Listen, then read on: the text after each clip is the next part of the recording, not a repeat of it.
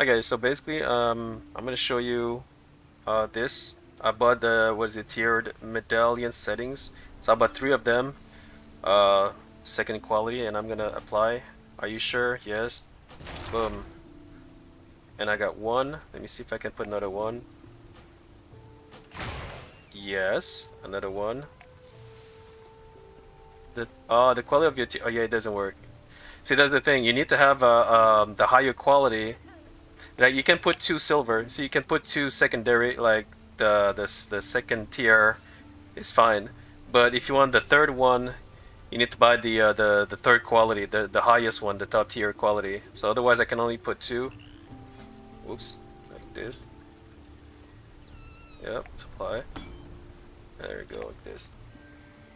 There you go. And I need a third. I need a, the other one. So yeah, if I want to have another one, then I need to, the third quality, the top tier quality. Hope this helped you guys because uh, so that you don't make the same mistake as I did. This cost 2k. It's like 2,000 gold by the way, so I'm gonna have to resell it, I guess, or give it give it to my alt. Thanks for watching. Cheers.